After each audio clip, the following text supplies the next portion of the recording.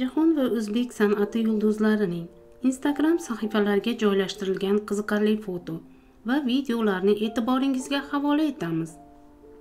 21 yillik do'stlar ziyoda va madina mumtoz. Lola followerlaridan yaxshi film tavsiya qilishni so'radi. O'zbekistonda xizmat ko'rsatgan artist obid asomov hayot bo'lganida 22 oktyabr kuni 57 yoshni qarshi olgan bo'lardi. Mirzabek xolmedov do'stini iliq so'zlar bilan yodga oldi. Taniqli turk aktyori murat yildirim rafiqasi iman elbanini ta'sirli tarzda tabrikladi. Nargiza salmonova followerlarini so'roqqa tutdi. Qaysidir bilimdonlar ko'rsatuvida shunday savol kelgandi. Ayollarning sumkasida nima bo'lmaydi? Bilimdon ishtirokchilar har xil misollar bilan fikrlarini bir biriga aytib to'g'ri javobni topishga harakat qilishdi. Javobi esa meni hayron qoldirmadi chunki ko'p guvohi bo'lganman.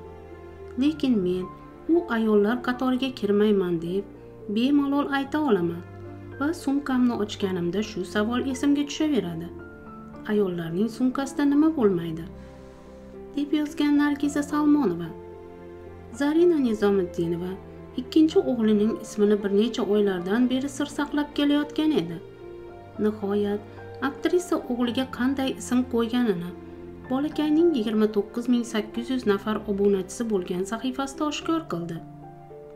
Muqaddas sa'dullayeva va yigitali mamajonovdan yangi oilaviy fotosessiya halima ibragimova barcha bemorlarga shifo tiladi.